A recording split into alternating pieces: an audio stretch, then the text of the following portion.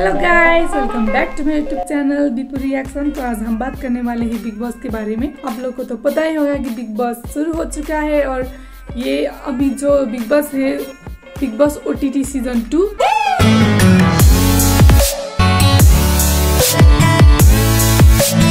ये हमें 24 घंटे देखने को मिल रहा है। और इसमें बताया जा रहा है कि पब्लिक की वोट मैटर करती है। अच्छा। तो गाइस सबकी एंट्री होती है। बारी बारी हमें देखने को मिल रहा है कि कौन कौन आने वाला है। सब हम देख चुके हैं। तो मैं ज़्यादा लोग को पहचान नहीं पाती ज़्यादा लोग को मैं नाम नहीं पता मुझे। आप लोग सब कुछ जानते हो। तो जिन लोग के बारे में मुझे पता है मैं उन लोग के बारे में बोल रही हूँ। उन्हीं सुपरस्टार बिग बॉस में। से और मेरा न्यूज़ चाहने वाला मैं न्यूज़ सबसे बड़ा पुरस्कार। पुनीत कुमार, मैं हूँ कॉमेडी किंग और मैं हूँ बिग बॉस के असली टॉपिक का हकदार पुनीत कुमार, ये सारे आंकड़े वाले रुका मैं सोच रही थी कि ये बंदा यहाँ क्या कर रहा है? जो इतना ज़्यादा तूफानी करता है बाहर, इतना ज़्यादा उसकी जो वीडियो उसका जो मीम बनता है बाहर, इतने लोग देख रहे हैं। ये बंदा अंदर जाके क्या करने वाला है, ये सोच रही थी मैं। तो सबकी बारी बारी एंट्री होती है तो हमें देखने को मिल रहा है कि फुकरा इंसान। आप लोग नहीं जानते होंगे तो आप लोग को बता दो कि फुकरा इंसान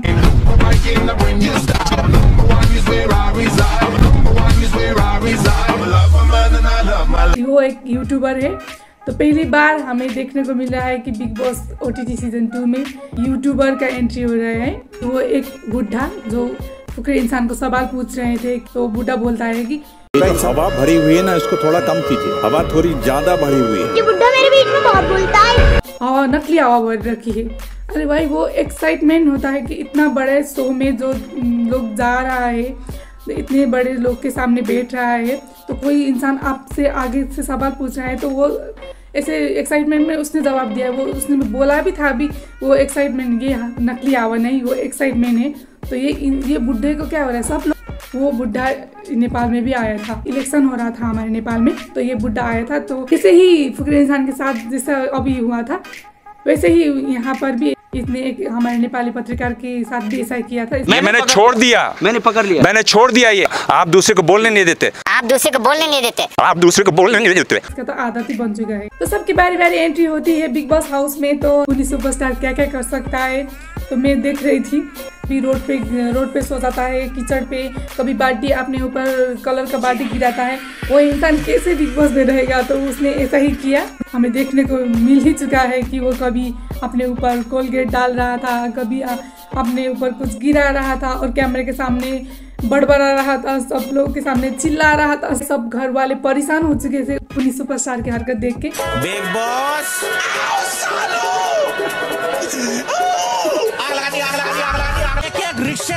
रेडी वाला ठेली वाला दुकानदार काम धंधे वाला बिज़नेस वाला ये वाला वो वाला यार पुलिस सुपरस्टार का चर्चा। तो बिग बॉस ने भी अपना फैसला सुनाया सब लोग को इकट्ठा किया और सब लोग की ओपिनियंस ली।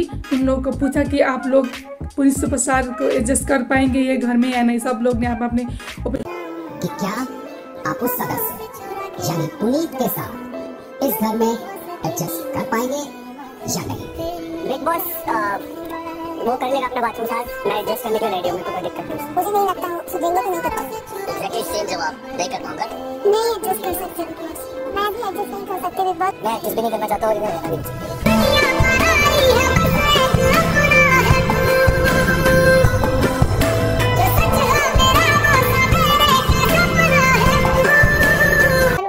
उन लोग की सबके ओपिनियंस लेते हुए बिग बॉस ने भी एक फैसला लिया कि हम बिग बॉस में पुनीत सुपरस्टार को नहीं रख सकते।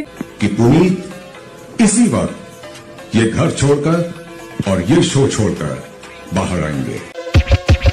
क्योंकि उसने जो कांड किया था सब लोग परेशान हो चुके थे तो बिग बॉस में पहली बार ऐसा हुआ कि कोई इंसान को बारह घंटे में बिग बॉस से निकाल दिया गया। अरे भाई, ये तो अब तक का हिस्ट्री बन चुका है। पहले तो ये Bigg Boss O season two season two शुरू होने से पहले बताया जा रहा था कि पब्लिक की वोट मैटर करती है। तो मैं सोच रही थी कि पुनी सुपरस्टार को निकालने से पहले क्यों वोट नहीं किया? तो मुझे ये बिल्कुल भी अच्छा नहीं लगा। ये पब्लिक को उल्लू बना जैसा काम हुआ ना पुलिस सुपरस्टार ने अपने आप को रियल दिखाने की कोशिश की क्योंकि वो कैमरे के सामने भी ऐसा ही कुछ करता था बाहर जो हमें उन, उनका वीडियो देख रहे थे कि वो अपने ऊपर कुछ गिरा रहा है कुछ क्या क्या वो जो पागलपंथी करता है तो रियल दिख रियल दिखाने की कोशिश कर रहा था। जो बाहर है वो अंदर बिग बॉस हाउस में भी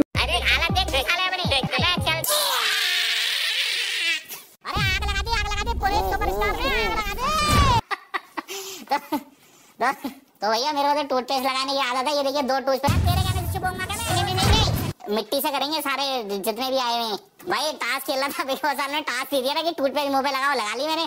कि बिग बॉस को तो पहले से ही पता है उन उन्हें बुलाने से पहले ही पता है कि वो ऐसा करता है वो उसका जो आ, फ़ैन फॉलोइंग है उस, उनको जो इतने जनता देख रहे हैं वो तो उन्हें ऐसे ही पसंद कर रहे हैं। तो बिग बॉस को भी पता था।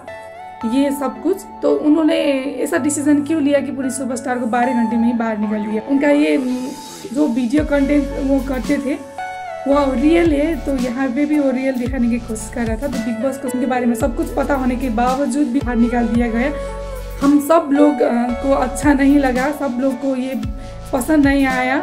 क्योंकि सब लोग जानते हैं उनके बारे में, सब लोग उनको ऐसे ही पसंद करते हैं। तो इतना सब कुछ होने के बावजूद भी अब फिर से पुलिस सुपरस्टार को बुलाया जाएगा या नहीं वाइल्ड कार्ड एंट्री में, क्योंकि उन लोग का ही घाटा है, क्योंकि पुलिस सुपरस्टार जब बिग बॉस में था तो इतना क्रेज था कि अब तो कुछ तूफानी देखने को मिलेगा, कितना पागलपंती देखने को मिलेगा, उनका जो इतना फ़ैन फॉलोइंग है, उन सब सब लोग देख रहे थे बिग बॉस। सब लोग अपसेट हो चुके हैं कि हम्म, पुलिस सुपरस्टार को निकाल दिया गया। तो वो फिर से आएँगे नहीं आएँगे पुलिस सुपरस्टार को निकालने से सब लोग गुस्सा हो चुके हैं। तो आप लोग कमेंट कर दीजिएगा कि जो पुलिस सुपरस्टार अभी पुलिस सुपरस्टार का एंट्री फिर से होगी या नहीं होगी। तो ऐसे ही वीडियो और भी बनाऊँगी आप लोग। देखते रहिए। Okay. और ये वीडियो कैसा लगा आप लोगों को कमेंट कर दीजिएगा। और मेरे चैनल को सब्सक्राइब कर दीजिएगा। मेरे वीडियो को लाइक कमेंट कर दीजिएगा। आज के लिए इतना ही। Bye bye